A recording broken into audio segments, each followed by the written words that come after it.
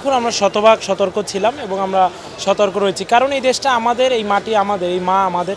একে রক্ষার দায়িত্ব যুগে যুগে, কালে কালে বাংলাদেশ ছাত্রলীগ বহন করেছে, গ্রহণ করেছে, এখনও করছে। কারণ আমরা বিশ্বাস করি, শিক্ষা প্রতিষ্ঠানগুলোতে শিক্ষার সুষ্ঠু পরিবেশ বজায় রাখতে হবে। আজকে শিক্ষাঙ্গনে যে রেভলিউশনারি চেঞ্জ শেখ হাসিনার নেতৃত্বে বাংলাদেশের শিক্ষাক্ষেত্রে যে অভূতপূর্ব অগ্রগতি, এটির ধারা যদি অব্যাহত রাখতে হয়, তাহলে এদেশে মুক্তিযুদ্ধের সপক্ষ শক্তির এবং সুশাসনের কোনো বিকল্প নেই এবং সেই সুশাসন নিশ্চিত করে চলেছেন বঙ্গবন্ধু কন্যা শেখ হাসিনা। সুতরাং এই দেশবিরোধী অপশক্তি বাংলাদেশের মানুষের জানমাল হানিকর যে কোনো অপচেষ্টাকে রুখে দিতে এবং তাদের বিরুদ্ধে রাজপথে শক্ত অবস্থান গড়ে তুলতে বাংলাদেশ ছাত্রলীগ বদ্ধপরিকর এবং দৃঢ় প্রতিজ্ঞ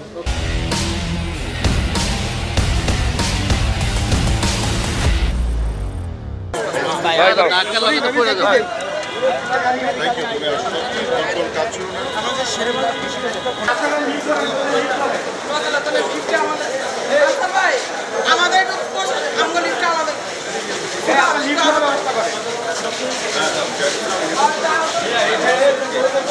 সিফাত সিফাত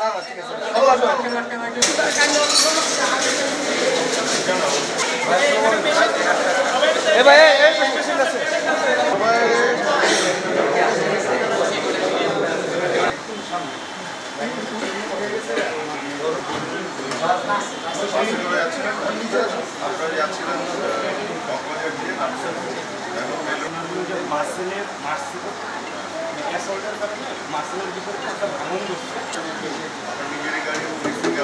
রিয়ান ভাই